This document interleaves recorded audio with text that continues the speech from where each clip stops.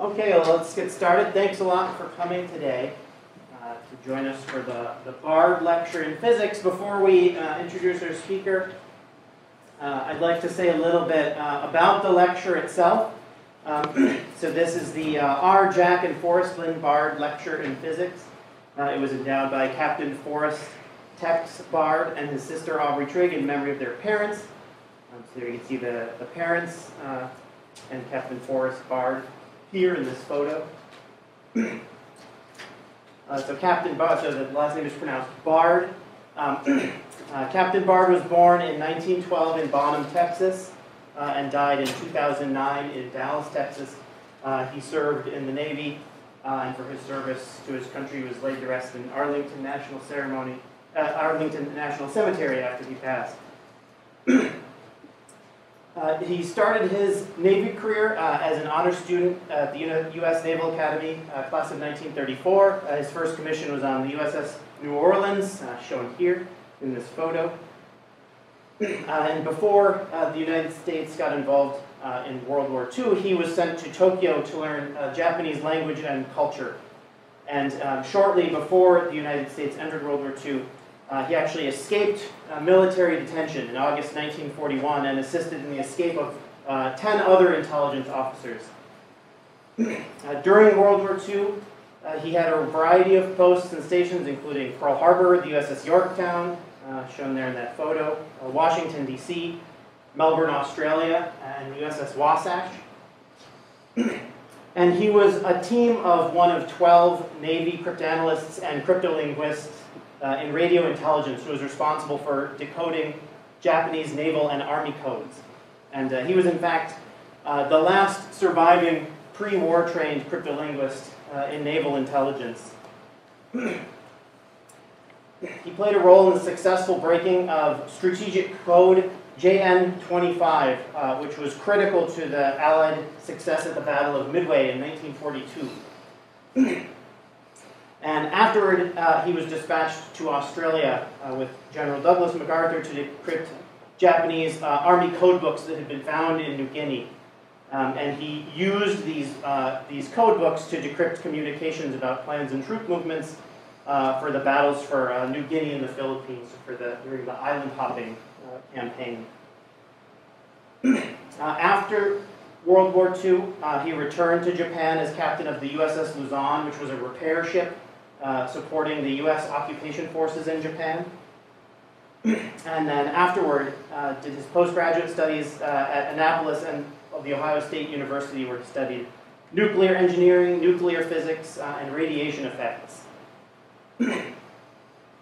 Afterward, he was an operations officer for Ivy Mike, the first hydrogen bomb test um, in 1952 uh, and then uh, received his master's degree in physics uh, from The Ohio State University studying nuclear magnetic resonance. Uh, and then in 1955 retired from the Navy. Uh, the, the impacts uh, of his Navy career, as you, you perhaps have gathered from the things I shared, were rather singular. Um, they were summarized by some quotes from, from two fellow code breakers here. Uh, the fate of the nation quite literally depended on about a dozen men, this, this, this dozen uh, cryptanalysts that I'd mentioned, that he was a, a group member of, uh, who had devoted their lives and their careers in peace and war to radio intelligence. Um, and had I not witnessed it, I never would have believed that any group of men was capable of such sustained mental effort under such constant pressure for such a length of time. Again, those are from two, uh, two fellow code breakers during World War II. After the Navy, he was a professor of physics at Long Beach City College um, for about 30 years, uh, where he developed a course uh, uh, on acoustics and the physics of music, which was later filmed uh, and shown on public television. So he was a remote learning pioneer. Um, his interests were in quantum physics, cosmology, and astrophysics, um, and he was a translator of Japanese history books. Um, the Caltech connection is that uh, he had a sabbatical here uh, in the early 60s uh, where he audited physics and astrophysics courses uh, and had discussions with some of the great minds that were here at that time. Um, and uh, he had a fondness for his time here and he wanted to uh, endow Caltech with support to continue uh, bringing people here to spend time and have great discussions. And so we're thankful that he and his family made that possible. Uh, and if you're interested in learning more uh, about Tex or about some of these other code breakers, um, there are some there are some links here. Um, so uh, so let's let's thank the, the Bard family for supporting this lecture. Uh, while I transfer the setup uh, to Eric Cornell, uh, so that I can introduce him, and we can hear what he's going to tell us about. All right, thank you very much. Uh, so thanks again for coming. Uh, we're honored, honored to have Eric Cornell joining us uh, from JILA today to give the first BARD lecture of this year. Um, it's almost exactly two years since he was scheduled to give this talk, um, but traffic from LAX was slightly worse than usual, uh, so he just got here. Um, but either way, uh, we're very glad that he could join us in person uh, to give this lecture. Uh, today he's going to tell you about a very exciting experiment to search for fundamental symmetry violations using trapped molecular ions. Uh, though his research includes a very wide range uh, of other topics in atomic, molecular, and optical physics. Uh, in addition to what he will discuss today, uh, he's made important and foundational contributions to the study uh, of ultra-cold quantum gases and their properties, notably including the first achievement in early studies of Bose-Einstein condensation in dilute atomic gases. Uh, Eric has too many awards to list. but They include the Rabi Prize, the Benjamin Franklin Medal, uh, and the Nobel Prize in Physics. Uh, Eric, we're glad you could join us today, and uh, let's all join in welcoming Eric.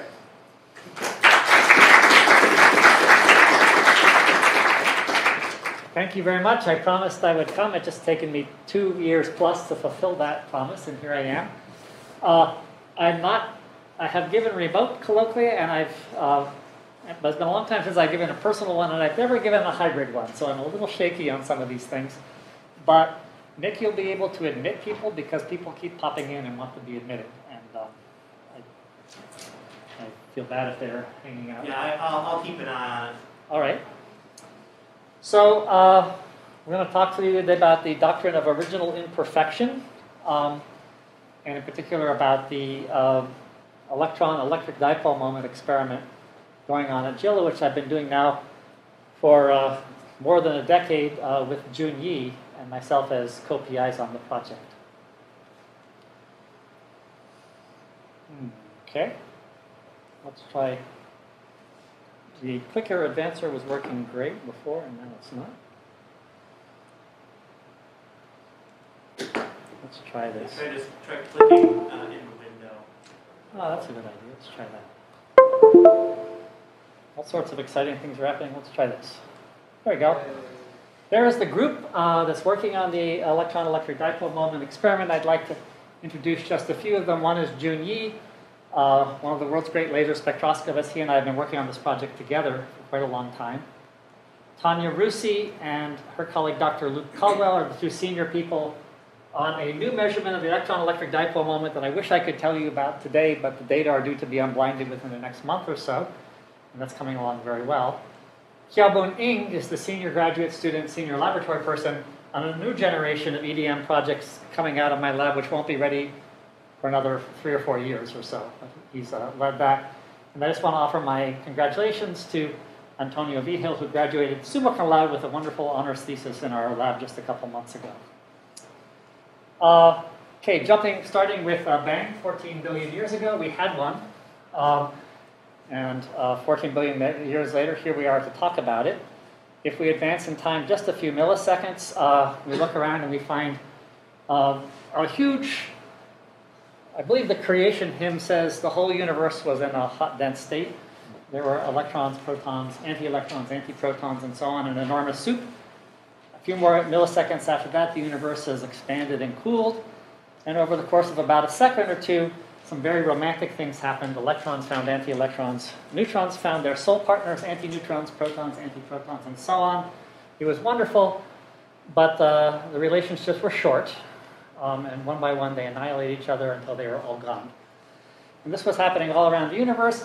There was, right after the Big Bang, about a billion times more stuff in the universe than there is now. And all that, about a part in a billion of it, found about, the, about one part in one billion of the particles in the universe found their soulmates and annihilated. There was somebody for everybody, almost. Um, there were just a very small number of uh, matter particles, electrons, protons, neutrons, and so on, still available. So the question is, who are these final few lonely particles that no one wanted? They are you. I feel like sometimes explains a lot, really. Uh, what was nearly perfect, this matching up of matter and antimatter to the part per billion level, was not exactly perfect. Uh, and this uh, not exactly perfect is, is what we call the doctrine of original imperfection. That's why we're around, and it's good. We'd like to understand it. This original imperfection is sometimes known as matter-antimatter asymmetry. It was described in the book of Baryogenesis, uh, a long-lost text which is no longer available because when we had said all about it, but we, don't, we no longer can look, read that book. And it was a T-violating and the CP-violating event. Basically, one of our basic, almost always uh, obeyed laws of physics was violated in order to have this, this asymmetry, which was so very, very important. It was the asymmetry from which we all came. It happened a long time ago, so we can't go back and look at it, and it cannot be explained by the particle physics of the standard model. So how can we learn more about it given those two limit limitations? Um, and uh, I like to, okay, so it was a long time ago. There, there are no time machines, so we can't go back and look at it. There are no, no, no documents left over. And so I have this metaphor of a three-legged stool of various different ways of going back and looking at those things. And one leg of that stool uh, is telescopes and telescope-like things. This is, I think, a artist's conception of an enormous European Space Telescope. When I say telescopes, I use them very use the term very broadly. I definitely think of uh, LIGO as being a telescope. Gravity waves are another kind of telescope. I think of neutrino detectors as another kind of telescope. All these things are useful for sort of looking out into the universe and seeing what's going on. And you can think of a telescope as a look-back machine. If you look at a galaxy which is 10 million light years away, you see that galaxy as it was 10 million years ago. The farthest away galaxy you can see is 13.3 billion light years away, and this, you're seeing this galaxy, when you look at this galaxy, you're seeing the universe as it was when the universe was only 4% as, as, old as it is today, but that's not nearly far enough back uh, to see uh, these, these effects, to look, to look into the universe at a time when matter and antimatter were uh, undergoing, you know, experienced this, this slight imbalance. So another way to get at these things is uh, with particle colliders. You can smash two particles together, and you can think of that, that collision as a simulation of the very hot, dense, and violent early universe. The largest scientific instrument ever built, the Large Hadron Collider, spans many, many miles, many kilometers, has detectors which are, you can see a tiny person in there, which are, you know, dwarf the human scale.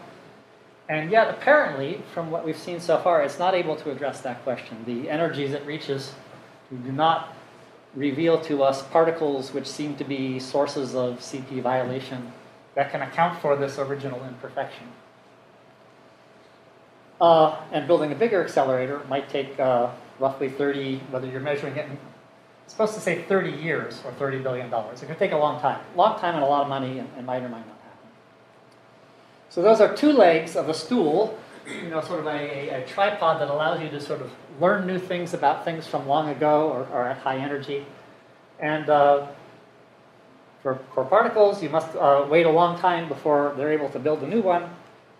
For telescopes, uh, you don't have to wait a long time, but it happened only one time. And all I mean by that is that uh, astrophysics is an observational science. You don't get to tinker with things so you can learn amazing things, but you don't get to do experiments as we usually understand them. Um, so the third leg would be uh, precision measurement, and that's what I'm here to talk to you about today. Here we are using a very precise device to measure a fossil, which is supposed to help us think of seeing things that happened a long time ago. When we want to study dinosaurs, we look at dinosaur fossils. If we want to study ancient physics, we can look at physics fossils. Um, when we're babies, one of the first things we learn as babies is we learn about the idea that you know objects, permanence of objects, things that are around tend to stay around. It's something we all take for granted, But it's new to babies, and because it's so new and babies find it so very interesting, that's why babies like to play peekaboo. Things disappear, they reappear. How fun is that? You probably don't remember but babies think this is hilarious, and if you're a parent of a baby, as I once was, twice, um, it's also fun. But if that's what they're learning. This is why it's so much such a, a tickling event for, for small children. And of course, as physicists or astrophysicists, or people sufficiently interested in physics to come to a physics colloquium, we also once were physics babies. And we believe, rightly or wrongly, in the permanence of physics. Uh, we think that the same, we like to believe, and you could call it an article of faith, but we want to believe that whatever physics was around in, say, the first two or three seconds of the universe that caused the CP violation, that caused us to exist at all, we really want to believe that that, that physics is still around, still with us, and it just happens to be playing peekaboo with us. Basically, we're, it's having a little fun with us, appearing, disappearing, we don't see it. I can't really say that for sure, right? I don't actually know that the physics today is the same as the physics as it was two or three seconds after the Big Bang but I really want to believe it. So I'm going to go ahead and, and, base it on that. And so what I want to say is that that um, that physics that was around there, the, those fossil, the fossils of that physics, just like the fossils of dinosaur bones are permanent, so should that physics be permanent. And we should look for places where we can see extremely small CP violating effects in, in particle physics now. Um, our particular approach is to look for CP violating physics in the electron's electric dipole moment, EDM, here in Caltech, people are also looking for uh, CP violating physics in baryons and neutrons, a very large project here. And there's also an electron electric dipole moment experiment going on here too. So we're not alone in this. It seems like a promising direction to, to look for things. Oh, there's Mr. Electron. What do we know about him? He's got a charge of minus one. He's got a mass. He's spinning. So he's got a magnetic moment. He's got a north pole and a south pole. Used to be, from a physicist's point of view, that's about all you need to know about an electron at least that's sort of the EV scale. But it's also possible that the electron has an electric dipole moment. That is, in addition to its big negative charge, it's got a little positive charge near the pole and a negative charge near the other pole, or vice versa. You can think of the positive pole, the little tiny positive charge adding uh, destructively, and the little negative charges adding constructively.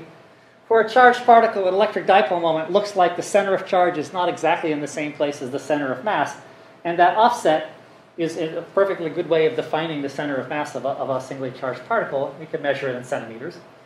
If it exists, it violates the fundamental symmetry T and fundamental symmetry P and CP.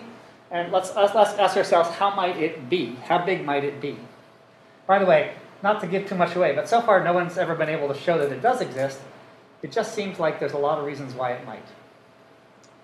So uh, we're saying we want to describe this electric dipole moment as a length scale. So what are the sort of natural length scales we have available to us if we are an electron? Well, one is uh, around a hydrogen atom, which is, from an atomic physicist point of view, and a hydrogen atom is just an electron. I realize there's a proton in the middle of it, but it's not very important for atomic physics, so we won't get into that. Really, all the properties of a hydrogen atom are in its electron, and in particular, it's got a dipole moment, a fundamental uh, electron transition moment, which is uh, basically one Bohr, you know, half, half an angstrom or something like that in size. Uh, that's one way you could talk about it, a, a, sort of a useful length scale. Another length scale is smaller than that by the, uh, uh you know, basically one fine structure constant. Uh, I, I, grew up using units where magnetic moment and electric dipole moment are measured in the same units, and so that's uh, the, basically this size of the hydrogen atom times uh, the fine structure constant, that's actually the magnetic moment. Not the electric moment, but the magnetic moment of an electron. Or you could call, take the classical radius of an electron, which is just you take the one unit of charge, one fundamental charge, and classically squeeze it down. And as you squeeze it down, there's more and more Coulomb energy. And when that Coulomb energy equals the relativistic rest energy of an electron, that's a radius. And that's smaller than the Compton radius by another factor of the fine structure constant, about 3 Fermi it turns out. There's another length scale. There's like an empirical length scale, which is suppose you wanted to see, does the electron have any structure? Well, one way of finding out structure is you could do a scattering experiment. To do a scattering experiment, you have to smash something off of it, and the most energetic things we have to smash off of them are at the LHC and that in principle could look all the way down to about another five orders of magnitude or so, six orders of magnitude smaller. The current experimental limit, which is not done with a scattering experiment, but spectroscopically, by ACME, uh, which used to be a Harvard and Yale collaboration, now it's a Harvard and Northwestern and Chicago experiment, is uh, 16 orders of magnitude smaller. 16 orders of magnitude from the classical radius, which is like sort of the smallest natural length scale I can kind of associate with an electron. 16 orders of magnitude smaller than that, consistent with zero, that's the current limit. And we'd like to do you know, another factor of 10 or another factor of 100 better. What would be the significance of that? Uh, I am not a particle physicist, but um, i am able to read some particle physics papers, and very roughly speaking, uh, on general grounds, if I have sort of a one-loop diagram where I've got an electron, and it's interacting with an electric field, and it's generating an electric dipole moment, uh, it could be, that could come from basically, you, this is an old slide, it used to be that everyone's favorite extension for the standard model was supersymmetry, so this is why it's SNU physics, but it's probably not that anymore.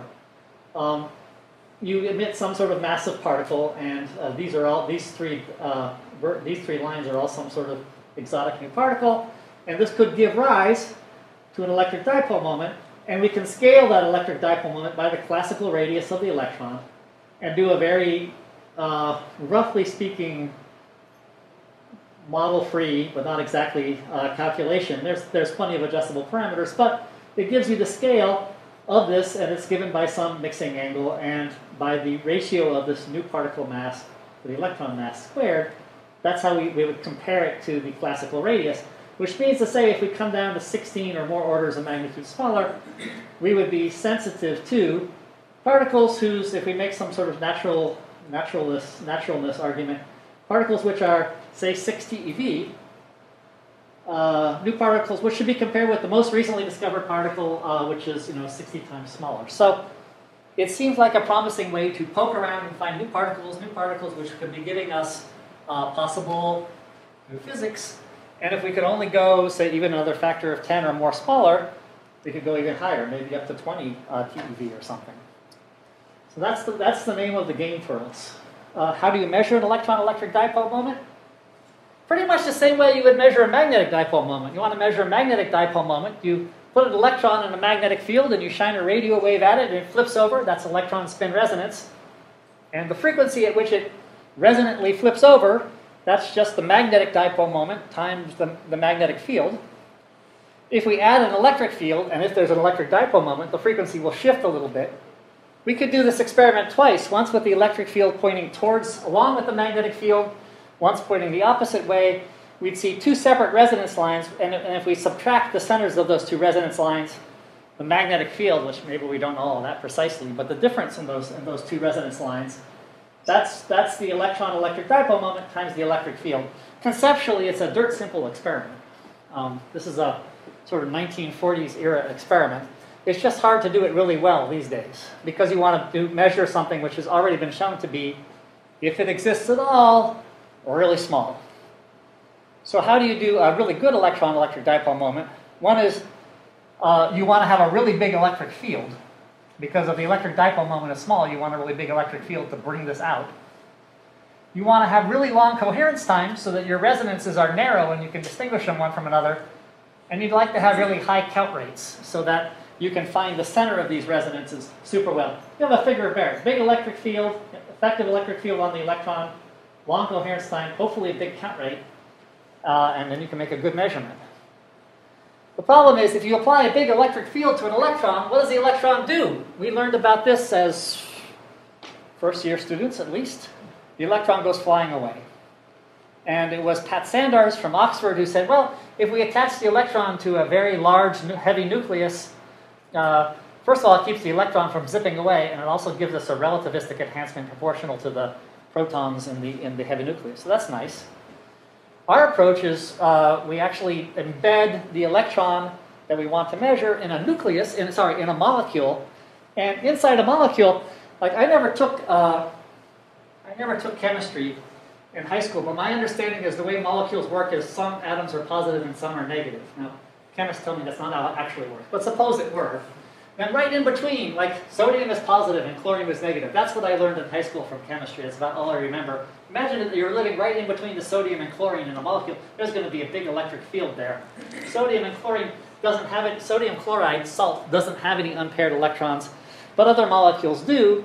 We happen to work with something called hafnium fluoride, and for a relatively small electric field in the lab, about 10 volts per centimeter, the electrons, we, this small electric field causes the molecule to be polarized, and the electrons feel this much, much larger electric field inside the molecule.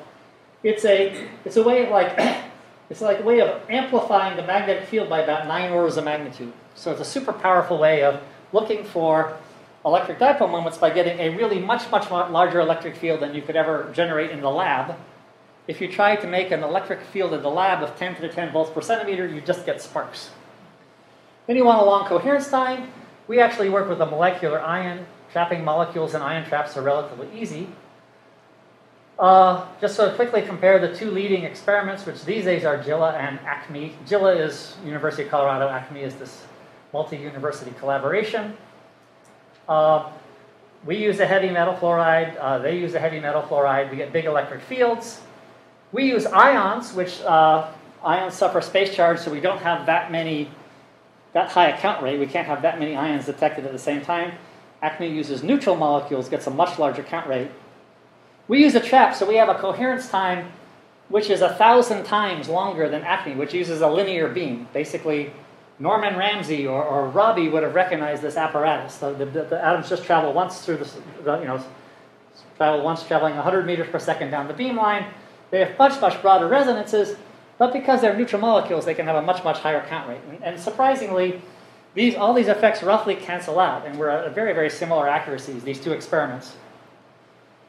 Uh, we and JILA have to work in a rotating frame of reference. I'll get to that in a second. ACME doesn't have to worry about that. Coming soon, like say here at Caltech, there are people who are talking about putting the, the good things of these together, having long coherence times because they use traps, but high count rates because they use neutrals, neutral molecules. To do that, you have to trap neutral molecules, which is hard compared to trapping ionic molecules. But Caltech professors are not afraid of difficult experiments, so they are uh, a terrifying thing for, for, for, those of us who are in competition about this, but we'll soldier on. That's coming soon from uh, Nick Hutzler, for instance. So you want to do trapping. The whole point of trapping particles is you have inhomogeneous electric and magnetic fields the inhomogeneity of the electric and magnetic fields pushes the atoms, the molecules into the center. And on the face of it, you might think that inhomogeneity is like a very bad place to do precision metrology because you get line broadening and what have you. We take advantage of a really cool idea from Dave DeMille, who pointed out that certain, certain molecular states come in pairs of, uh, have very closely spaced states of, of opposite parity. And if you apply an electric field, those states uh, polarize, uh, get, get mix, remixed into states of good projection directions, like the molecules pointing either up or down along the electric field. If you add to that a um, magnetic field, uh, those states shift up and down. And then if the electron is living inside the molecule and it has a small electric dipole moment, those states are even a little bit further spaced. So if we measure that transition, and we subtracted from that transition basically the effect of the laboratory electric fields and the laboratory magnetic fields subtract out. And all that's left is the internal electric field of the molecule, very uniform, very constant, given to us by God, if you like. And all the inhomogeneity cancels out. And so it's an extremely precise and stable measurement, which you can do in the relatively hostile environment of a, of a trap. So that's a, this is a clever idea. It's sort of got a built-in, call it a built-in co-magnetometer. These two states have very similar magnetic moments. You can subtract them out. Well, we do have to apply an electric field to cause the ion to, to be polarized. How would you do that? Our ion, of course, we have an ion trap, and if you apply a large electric field to an ion, it polarizes the ion, but it also causes the ion to fly away. Did you see that? That is very high in, I think we better look at that again. That is high in PowerPoint right there, folks. Look at that. All right.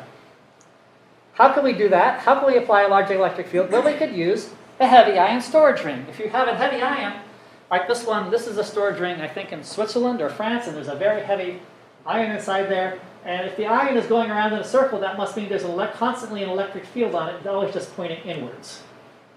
Well, I am nothing if not visionary, so I go to the chancellor and I say, we could build this here in Boulder. We'd have to have a large counting station here. We'd have to demolish the football stadium, but I see that as a feature. Uh, the chancellor said no. So I said we could make it smaller. No. We could just put it on the grass outside of JILA. No. God, what a what a what a grunt. So we moved our heavy, our large heavy ion storage ring inside JILA. I like to show this picture, especially here, because this goes dates back to a, a famous happy time when my lab was more than 50% former Caltech people. Uh, Matt Grau was an undergraduate here. So was Kevin Cossel. Conquan Nee did her postdoctoral work here. So those were that was a wonderful time, uh, powered by Caltech, about 10 years ago. But also I put them here because they can show these people can show to scale the size of our heavy ion storage ring. We have to zoom in a little bit. Well, there it is. Our storage ring is a millimeter in diameter. It doesn't actually live on, on Matt's shoulder, and we don't actually have a storage ring per se. We just have a, a ion trap with a rotating electric bias field. So the electric bias field rotates around, and the ion rotates around at the same time. And our trick is basically to have the bias field tank rotating rapidly enough that the ion doesn't travel very far before the electric field uh, changes direction. So the ion just goes around in a relatively small little circle, about a millimeter in diameter. But it's rotating, the, the rate of rotation is slow enough that the molecule has plenty of time to adiabatic. Any given time, the molecule is adiabatically pointing along the direction of the electric field, which means that we have a well defined, laboratory defined um, axis of quantization in which to do our measurement. It happens to be rotating, so we have to do our spectroscopy in the rotating frame, and therein lies five years of theory, but we know how to do it. This is what the this is what the apparatus looks like. For scale, you can see the standardized. Uh, I work for the National Institute of Standards and Technology, and all needle nose pliers are exactly five centimeters long. That's for scale there. The spacing between these electrodes is just under 10 centimeters. There's eight of them. They look like fins, and the molecule is confined. We, we, we, we put electric fields on those fins, 45 degrees out of phase, oscillated around, and in the center of those fins we have a very uniform rotating electric field. Additional electrodes provide, confinement, and the whole thing goes inside an ultra-high vacuum chamber for our trap. Um, experiment looks kind of like this. We've got uh, a solid metallic rod of hafnium. Hafnium fluoride plus, for various reasons, is our favorite molecule. It's not, uh, it was one of those molecules out of a chemistry exam the professor would mark it wrong. Like, this isn't even really a molecule. It's not stable. It only exists in vacuum. Um, so we can't let it touch anything after we make it. We, we ablate the hafnium with a laser. The hafnium vapor mixes with some sulfur hexafluoride, a gas. And then uh, chemically, we get hafnium fluoride neutral molecules. They travel into the center of those fins, and right when they get in the center of the fins, we ionize, we knock an ion off, and stop the ion in the middle of our trap. We apply the rotating electric field and many, many more lasers in order to prepare the initial quantum state and read out the quantum state. And as our final detection thing, depending on whether the, the direction of the electron spin, contingent on the direction of the electron spin, they can absorb some of these photons and fly apart and dissociate or not dissociate. So when we kick the ions out of the trap onto an ion detector, they arrive with a time lag in between them and we can tell what state they were in. So we prepare and read out the quantum state. Just to give you a sense of scale, these ions are sort of oscillating slowly back and forth at a couple kilohertz. They're rotating at 375 kilohertz. The confining fields have their own characteristic frequency. But uh, yeah, I think that generally because the, because the rotating, the quantization axis is rotating in time, uh, it's relatively insensitive to any sort of laboratory DC field, so we don't actually have magnetic shielding around the outside. There's an extremely complicated sequence of laser pulses and electric fields and magnetic fields turning on and off to do the various spectroscopy. Happily, we have computers who never get tired or bored and can do that the same every single time. The laboratory looks like this. It's basically a laboratory full of lasers, and you can barely see in the back the experiment, which is a, a, a small vacuum can that has that, uh, that uh, ion trap I showed you. Um, we measure basically the frequency between these internal states of a molecule and these internal states of a molecule, which corresponds to the electric field pointing uh, along with the magnetic field or against the magnetic field. We measure these two frequencies simultaneously. Some of the population is here, and we measure that simultaneously with the population here oscillating back and forth between these states and the population here oscillating back and forth between these states. We read out two uh, sinusoidal frequencies at the same time and we look for small differences in those frequencies, which is the signal for the electric dipole moment. There's actually many different things we can change in the experiment. The magnetic field can point towards the center of the trap or away from it, so can the electric field. The sign of the rotation can be clockwise or counterclockwise. There are eight possible linear combinations. Uh, we, so we measure these uh, eight different frequencies corresponding to these eight basic different configurations of the experiment. There are eight possible linearly independent uh, combinations of those frequencies. Just one of those frequencies is sensitive to the electron-electric dipole moment. The other ones, uh, and the electron-electric dipole moment, most of the systematic effects cancel out. The other frequencies are interesting to measure because they tell us all sorts of things about the condition of our trap, how uniform our fields are, and what have you. And by measuring, looking at these eight different frequencies under various different conditions of the experiment, we can probe to see what sort of systematic errors we have. Because in the end of the day, that's what we spend, oh, 95% of our time doing, is trying to understand what kind of errors we have in our data. Uh, a possible source of data of error, which we worry about a lot, is called Berry's phase which is a sort of glamorous thing. It used to be people talk about it a lot. Um, imagine you have a spin, and the spin is projected in a quantization axis, and the, the quantization axis slowly over time traces out some little circle. You sort of imagine that this, this quantization axis is sort of sweeping out the side of an ice cream cone. That circle, if it's got a solid angle, call it A. Then after you slowly come back again, slow compared to the energy difference slow compared to the energy difference of spin up or spin down along the quantization axis, you pick up a Berry's phase, which is a difference between the molecules which are projected one way with one value of m along the quantization, instantaneous quantization axis, or the other way along the instantaneous quantization axis, you pick up a phase. And if you're sort of constantly tracing that out, you pick up that phase every time you make that little shape, and that phase uh, you pick up a certain amount of phase per time, and that can become a frequency, a systematic error. So that's something we worry about. And why do we worry about it? Because we are rotating. The molecules are, are sitting in, a, in an electric field, which is the quantization axis, and the electric field is rotating in time. The, uh, this is the quantization axis. It points along the equator, and 375,000 times per second, it traces out a circle that circle has got a solid angle, which is one half of a sphere, so that's 2 pi. Delta m, the projection, works out to 3 h bar. So what you end up finding out is that the natural scale of this Berry's phase frequency shift is 750 kilohertz, and we're trying to do spectroscopy at the level of about 30 microhertz. So on the face of this, this sounds like a scary environment. What it helps is that if the electric field is exactly pointing in the equator, and you go all the way around, that's exactly 2 pi. 2 pi steradians, half of a sphere. Delta m is exactly 3.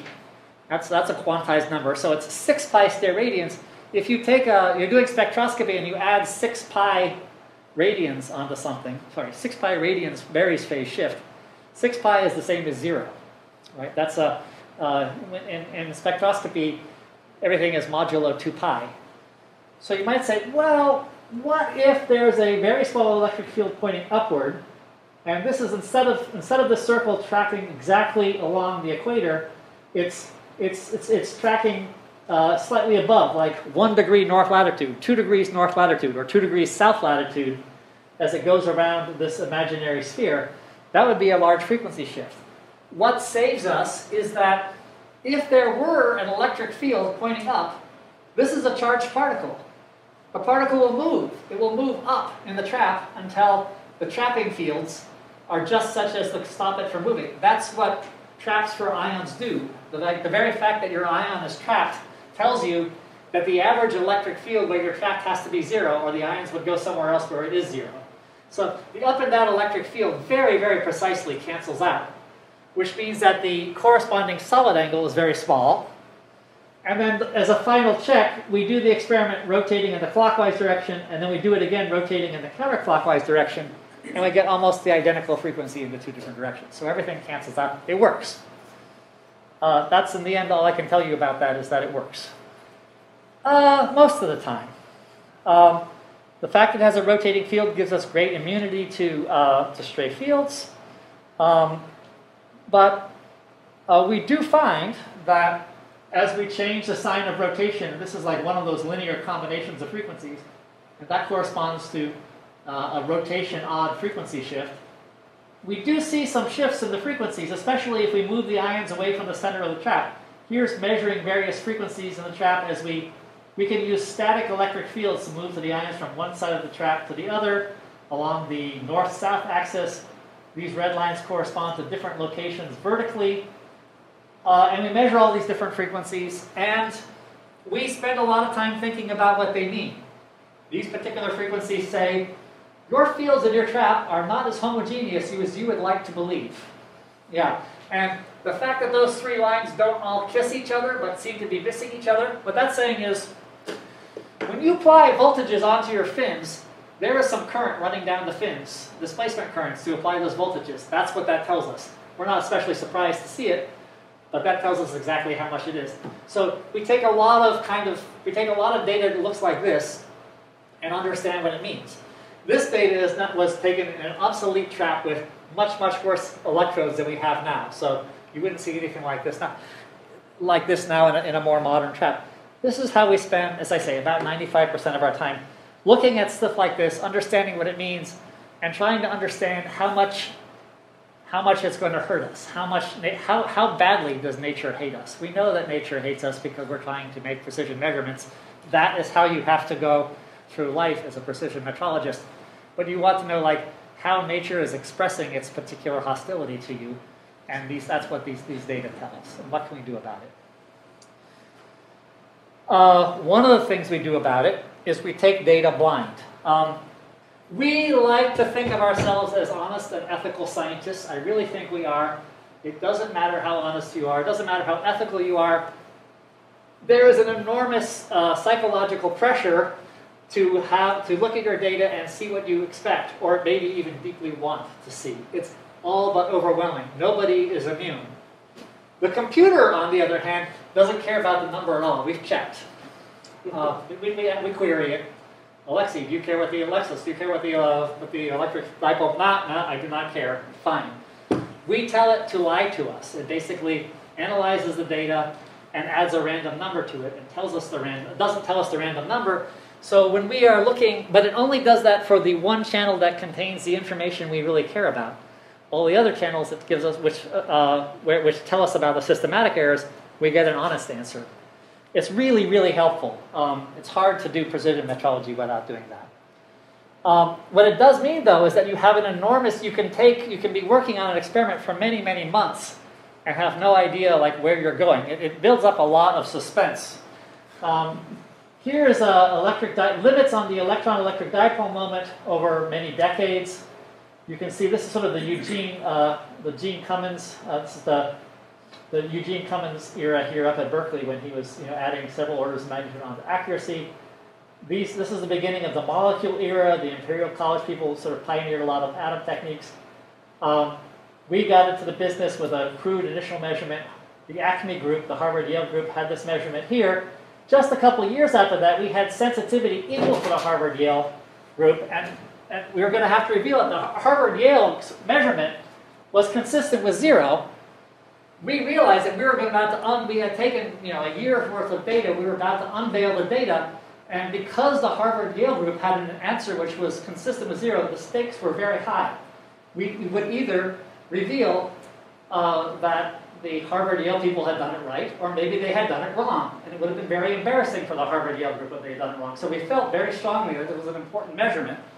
Um, so we were, there was a, a very, very tense moment when we go, we all got into the same conference room and we told the computer, stop lying to us. and it did, and we got an answer which was consistent with zero and almost with the same error bars as the Harvard Yale group. At that time, these two measurements were a factor of 10 larger than the earlier measurements, and they were sort of contributing to they were among the things which were contributing to the, I won't say demise of supersymmetry, but to its becoming less fashionable. The LHC wasn't seeing anything, these dipole moment measurements weren't seeing anything at the scale sort of that would have fit very naturally in the scale of supersymmetry. Doesn't mean it's wrong, just means there's just one more thing not going in this direction.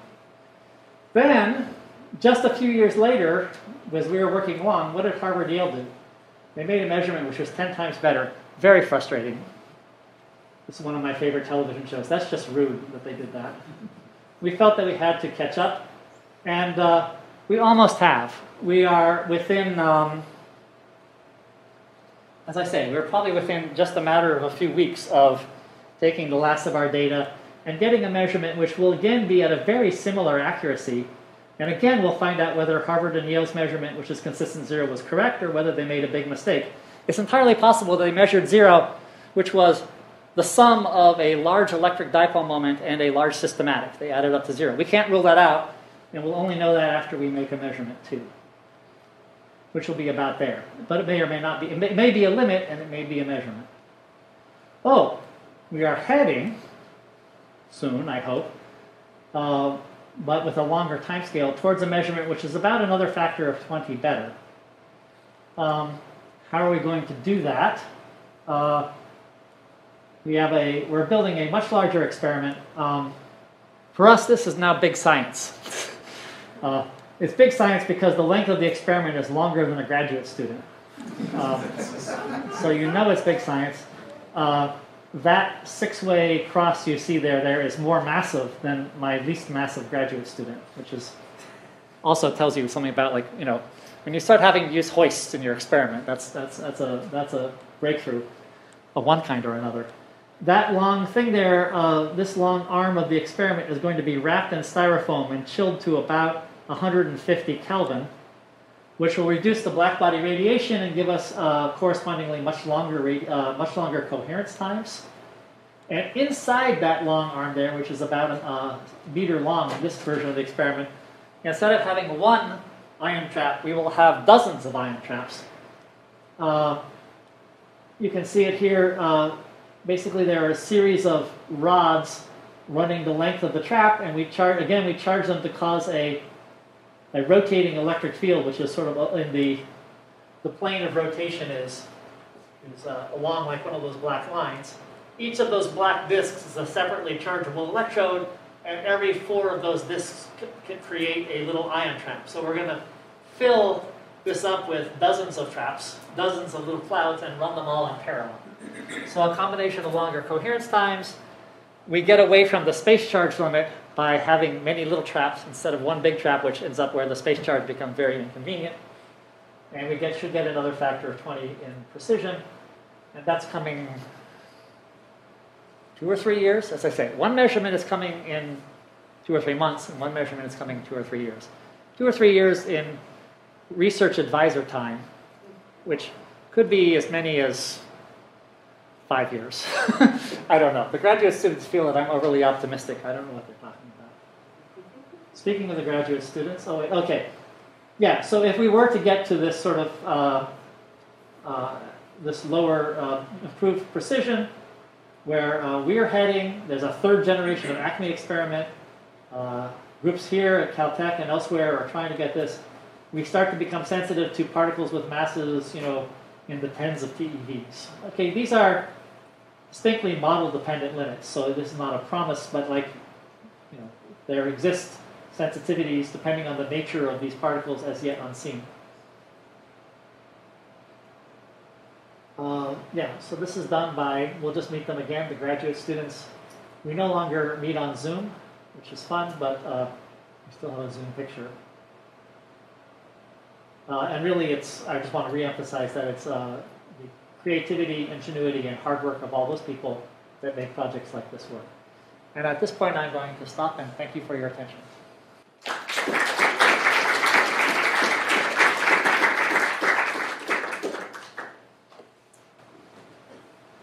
All right, thank you very much. Uh, if you have questions and you're local, please just raise your hands. Um, if you're remote, try to put them in the chat window or raise your hand, and I'll uh, do my best to keep an eye on you. I have a, a really basic question, and I apologize, this is, I, I admit that this is the first time I've ever heard of the possibility of an electric, electron-electric dipole moment.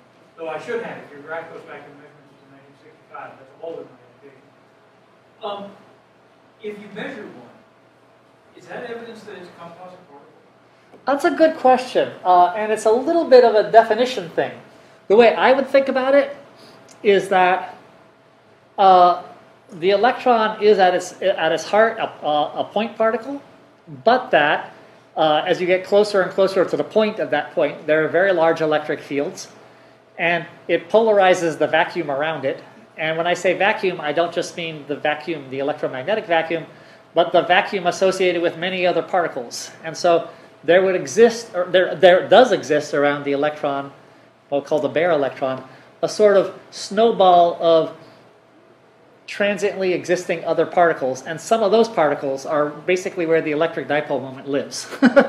so that snowball is definitely a composite particle, but that applies to everything, and certainly anything with a charge. Um, what you're hearing is an atomic physicist, basically, uh, I work with lasers and oscilloscopes and stuff like that. My, my education in real particle physics is scandalously low. So you're getting more or less the scientific American answer to that, and not what a, a serious uh, high energy particle physicist would tell you. And for that, I apologize. But I'm standing here, so I have to do the best I can. Would you mind letting me into the room? I got kicked out. yeah, Yeah, fine. Kicking myself out. No. Can I can I admit all? I'm admitting Admit all, yeah. Okay, I don't know who I'm admitting, but you should be back in. Are you there? Thinking about. Joining. In the meantime, any other local questions? Yes. Um, so you mentioned earlier that you don't really have to worry about magnetic fields, but there was a slide that you briefly glossed over that kind of implied that that might not be the case. When do you have to worry about magnetic fields? Start, yeah. st- starting just about now, as it turns out, uh, in our in this, I told you about this generation experiment, which we anticipated in about a month. Um, that experiment would have been easier had we had mu-metal shielding around our experiment, and it's a source of some mortification to me because I hate mu-metal shielding, and it was something I was always very, very proud about. I would go around saying like, "Huh, we don't even have mu-metal shielding." That's how intelligently designed our experiment is. Uh, but in fact, we had to go to some hassle. And for a new generation, which will be a factor of 20 higher, yeah, it's going to have to be shielded. So, to first order and even beyond that, uh, magnetic fields cancel out. Um, but magnetic field gradients do not cancel out. And uh, even uniform magnetic fields, in the presence of certain electric field imperfections, you can get cross terms that end up sort of giving you the effect of the magnetic fields counting again. So yeah.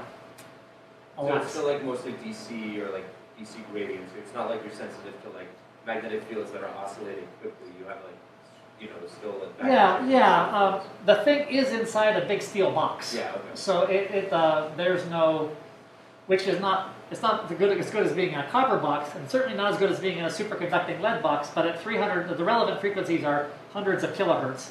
So there's not a lot of uh, magnetic field noise up there getting through the metal. We have a uh, remote question. Uh, David Hitlin, uh, I think you're unmuted. You can just go ahead and ask. Oh, so, I, uh, might, I might have had my sound down. oh, just give us one moment and we'll. Uh, Hang on a second. I actually don't know how to do this. okay, hold on- hold on. I think I can. It's for some reason not. Um, maybe I have to click. Oh, how about now, David? Uh, David Hitlin, ask your question, and I think we'll be able to hear you. I can hear you. So the question is, to what level of precision do you have to ensure that the fins are in fact radiant? I think what I. If they were- If they were canted, Hmm. then you're up, you generate a, a frequency displacement when you put. Yeah. So. Oh. Did you turn that off?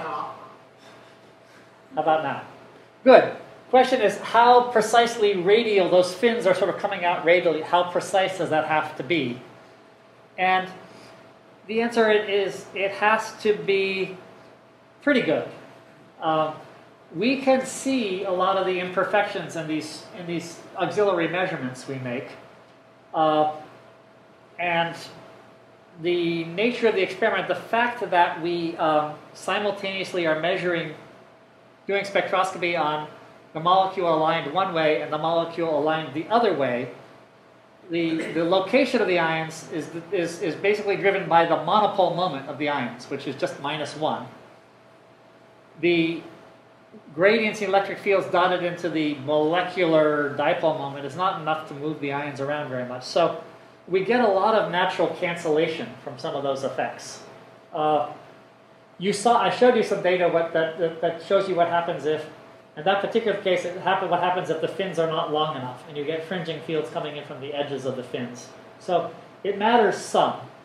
Uh, one of the big problems we have is that if the, as, the, as we cause the electric field to rotate uh, under larger and larger fields, there's an effect known as the ponderomotive energy, which is basically like a, um, well, it's a ponderomotive energy. I don't know exactly how else to describe it, which basically looks like a repulsive energy for the for the ions, a potential energy. And if there's a gradient in that, it can actually cause the ions to fly out of the trap. So that's one of the more stringent things, which is most stringently driving the precision design and construction of the fins. Yeah. Echo? You mentioned the, the multi-cell, you know, multiple traps. Yes. Uh, and you also mentioned in your present trap, you sometimes run in one way and sometimes run the other way. Yeah. Did you consider, or can you do, in your multi-trap, some of them going one way and some of them going the other way as a way of canceling some systematics? No, we can't. Uh, just because uh, the the traps are close enough together that they would sort of sense the rotating field from the adjacent ones. Um, what we can do is do it for a little while one way and then do it for the other, other way. We are looking into the possibility of having the direction of the magnetic field oscillate from one. So basically, it's sort of like a uh, sort of almost like sort of like a rotating, uh, sort of oscillating quadrupole gradient. Like so, and then that could. What we actually do, I didn't emphasize this, is the ions start on one side, and the it's kind of like a bucket brigade. We we make the ions, we prepare them, we load them into this little conveyor belt, and they go along evolving in a quantum mechanical way, and they come out to the far side and they're probed. So at any given time, we have atoms which are one quarter of their way, you know, one quarter second into a Ramsey fringe, five seconds into a Ramsey fringe, 15 seconds into a Ramsey fringe, and out. And it would actually be super useful for, from a noise, uh, noise point of view if, if, as the electric static fields that move the ions along move along, there was similar, a similar conveyor belt that was sort of moving magnetic fields along, alternating their directions. It would give us some nice cancellations. It would involve having a lot of time varying magnetic fields inside our, our cold world, uh, inside our, our cold, cold world, and their corresponding eddy currents and heating. Uh, so we are thinking about it. yeah. There is some CP violation in the standard model. Yes. You able to see in your experiments? So the question is, there is some uh, standard, uh, there is some CP violation in the standard model, and the answer is no. It is uh, another eight orders of magnitude smaller. So I would like to pitch this to you as a good thing. what it means is that when we see CP violation, we don't have to subtract out the standard model background. Uh, oftentimes in precision metrology, you make a very precise measurement and you have to subtract a large number which you've calculated. And you wonder, like, is my error in my calculation or in my measurement? Here, the calculation should be eight orders of magnitude less than our precision uh, sensitivity. I say that to put a brave face on it. It would be very nice to see a CP violation which was predicted by the standard model because then you could say, yes, there's a sanity check we're seeing, you know, uh, but uh, we'll, we'll, never get there. Uh, eight orders of magnitude is just a long ways. Uh, yeah.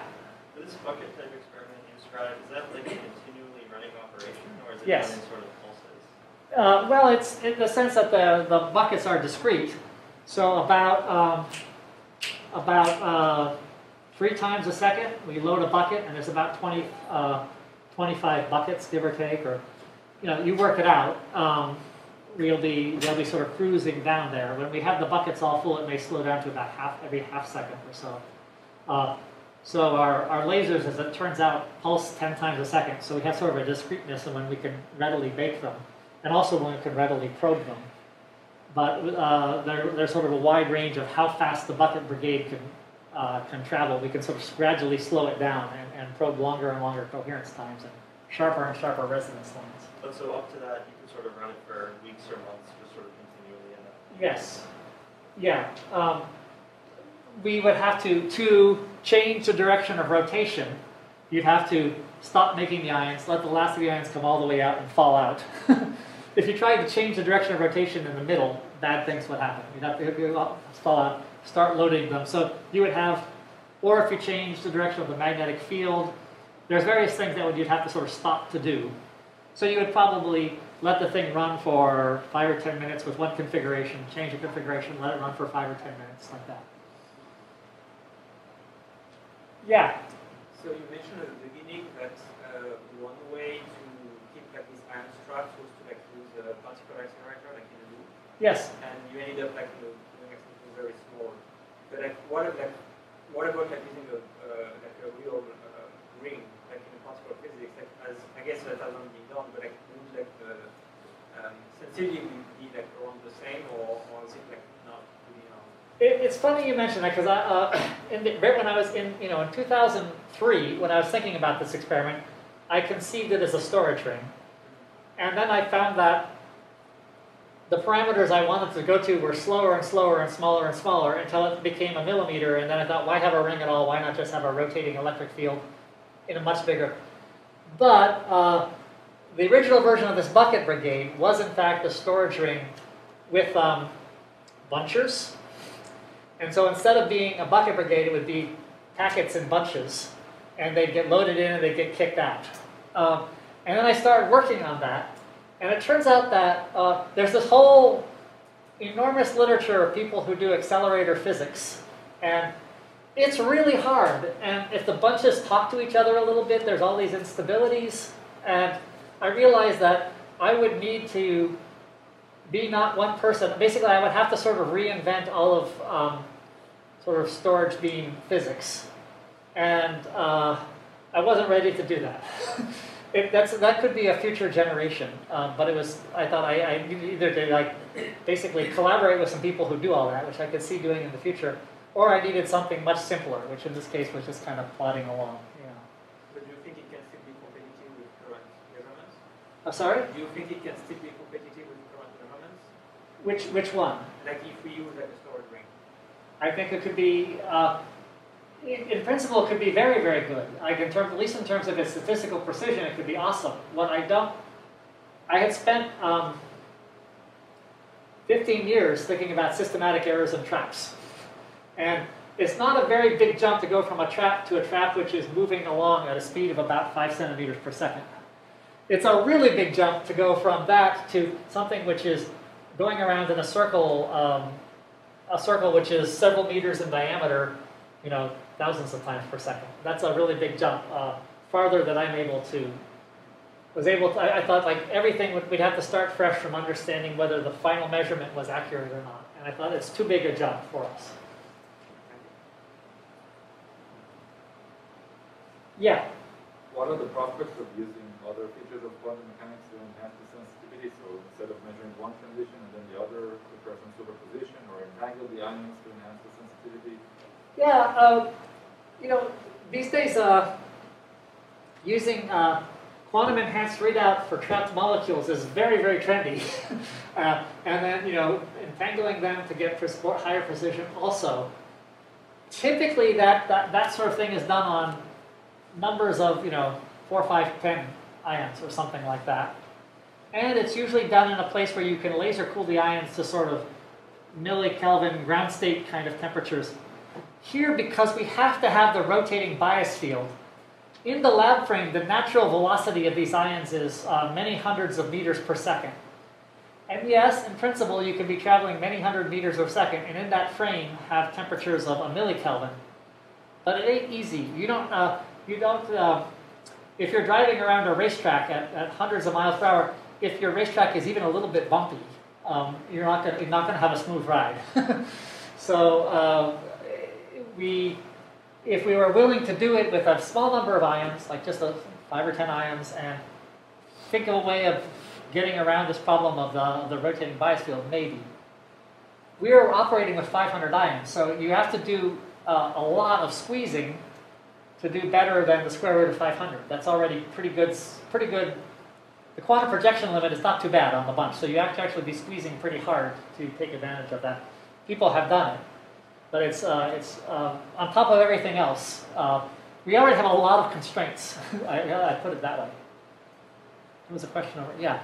Yeah, um, maybe you mentioned in the introduction, but what new physics or what physics can be ruled out after additional factor of 20 limit on the Yeah. Um. So, the at this point, I would say that sort of uh, high energy physics uh, phenomenologists, these are theorists, are, are very very creative, and so it's almost the other way around. Like if we were to see a, if we were to see a measurement, they can construct a, a, a universe around it, or many universes around it. What you'd really like would be non-zero values of the electron-electric dipole moment, non-zero values of uh, the neutron electric dipole moment, maybe of the mercury nucleus, which has got a little bit, you know, has additional structure to it.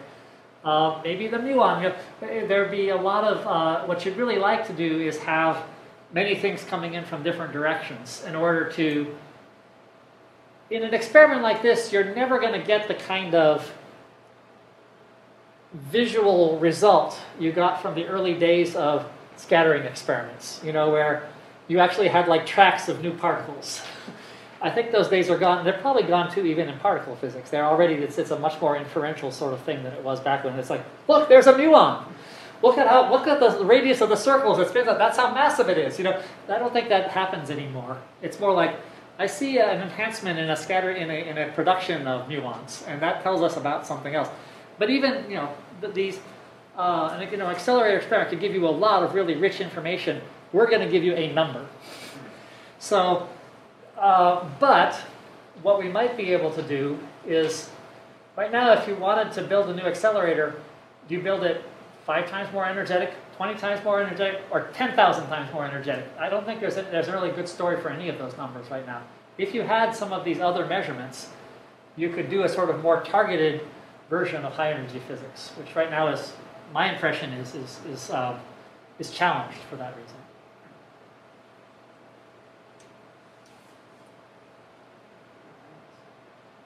Well, let's, uh, let's thank our speaker again.